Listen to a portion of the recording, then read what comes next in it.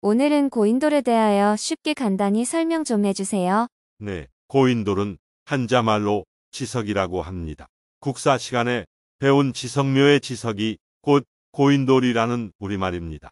고일 지, 돌석이라는 한자말입니다. 그래서 지석묘는 고인돌 무덤이라는 말이 되지요. 고인돌의 고인이라는 말은 고이다라는 말을 어떠한 돌인지 꾸미는 말로 사용한 것입니다.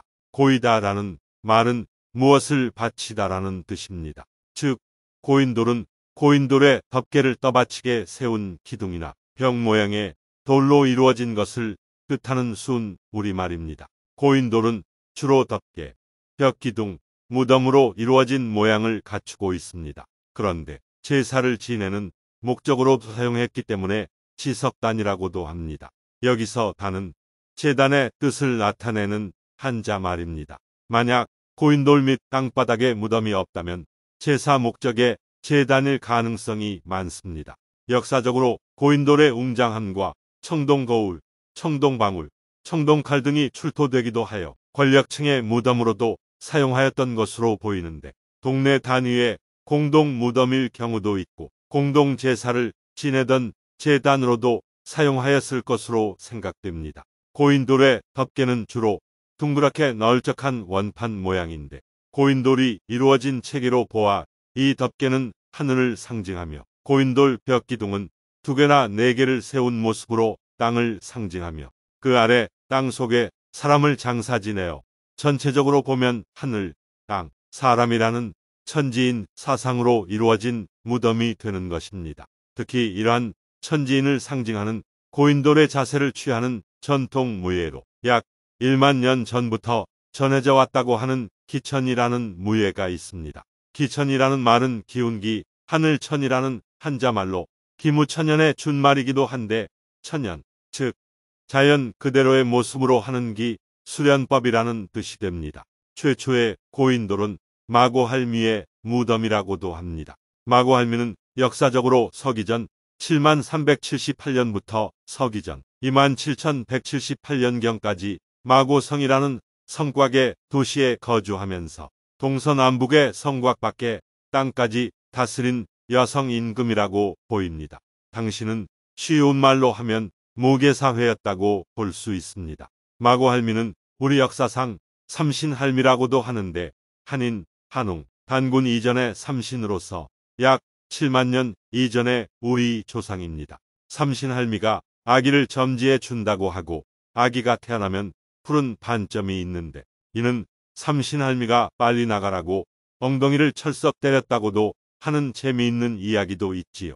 마고할미 이후에 장손족이 되는 서기전 7천년경에 황궁시와 서기전 6천년경에 황궁시를 이은 유인씨는 모두 세상을 떠났을 때 돌이 되었다라고 하는데 이는 고인돌 무덤으로 모셔졌다는 것을 가리키는 것이 됩니다.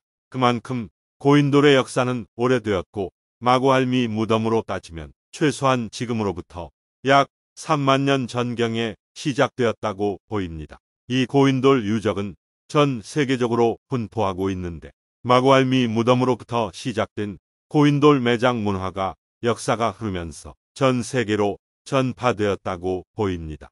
특히 고인돌 개수를 따지면 지금의 우리 대한민국 땅에 있는 것만 하더라도 전 세계의 3분의 2 정도라고 합니다. 그야말로 고인돌의 나라이지요. 역사적으로 고인돌이 자리한 곳에는 간단하게 말하면 우리 대한민국의 직계 조상들이 이동하여 문화를 전파하였다는 것을 알 수 있습니다.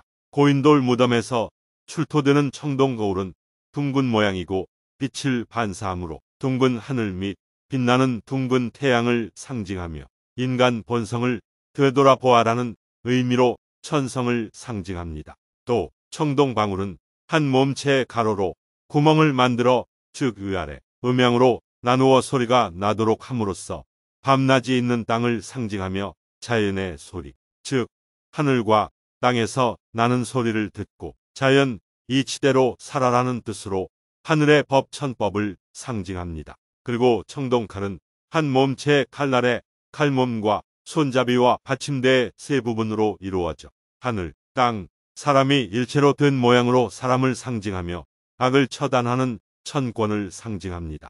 우리 역사상의 유물에는 이처럼 천지인 사상이 내포되어 있습니다. 또 고인돌 덮개에는 별자리가 새겨져 있는데 특히 윷놀이판이 새겨진 것으로 보면 이 윷판의 그림을 그릴 당시에 이미 달력이 완성되었던 것이 됩니다.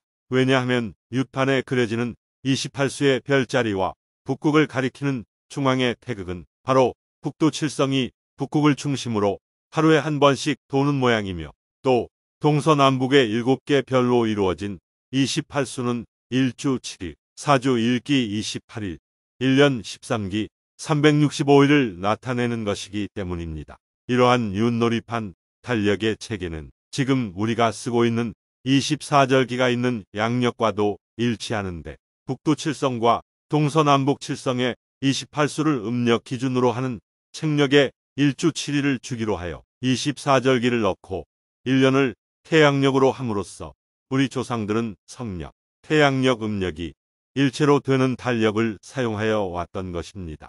유판이 새겨진 고인돌이 약 15,000년이 되었다고 하니 최소한 약 15,000년 훨씬 이전부터 이러한 달력을 우리 조상들은 사용해 왔던 것이 됩니다.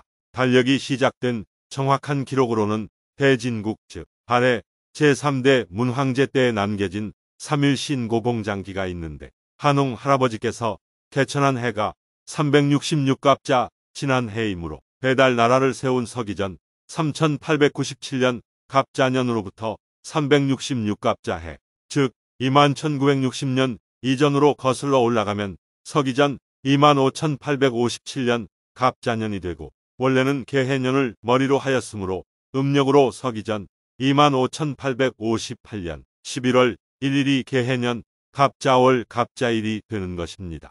이때부터 마고할미 시대 이후의 달력이 시작된 것으로 됩니다. 더 상세한 이야기는 다음에 하도록 하겠습니다. 예, 정말 너무 재미나는 이야기입니다. 새로운 내용을 많이 이야기해 주셔서 감사합니다. 여러분, 고인돌을 보면 하늘 땅 사람을 떠올리고 천지인의 이치를 생각하며 조상들의 종교 철학 문화의 역사를 머리에 새겨봅시다. 일신강충 성통광명 제세이와 홍익인간, 홍익인간 이화세계 만만세